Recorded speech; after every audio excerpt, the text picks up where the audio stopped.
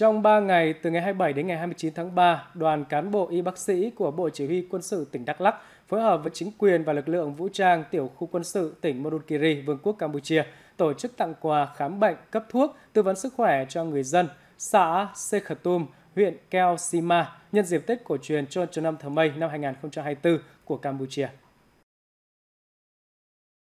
Tại xã Sekhatum, huyện Keosima, tỉnh Mondulkiri, đoàn cán bộ y bác sĩ của Bộ Chỉ huy quân sự tỉnh Đắk Lắk đã tổ chức khám bệnh, cấp phát thuốc, tuyên truyền, hướng dẫn cho trên 650 lượt người dân cách phòng chống dịch bệnh, chăm sóc sức khỏe trong mùa nắng nóng. Với điều kiện y tế, tập quán sinh hoạt của người dân nơi đây, nhiều người dân thường gặp các loại bệnh về răng hàm mặt, tai mũi họng, da liễu, tim mạch và xương khớp. Qua thăm khám và cấp phát thuốc miễn phí, người dân nơi đây bày tỏ niềm vui, cảm động trước tình cảm và nghĩa cử của các y bác sĩ bộ đội tỉnh Đắk Lắk.